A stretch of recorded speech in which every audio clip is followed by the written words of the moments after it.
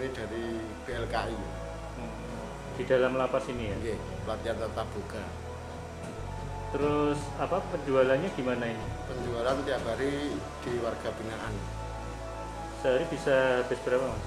Minimal 60 biji untuk bakso, untuk gorengannya juga ada ote-ote, tahu isi, dan tempe.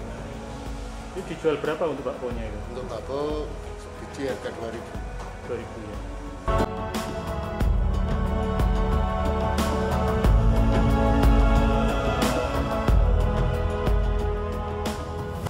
Sekarang makanan kan tidak boleh masuk.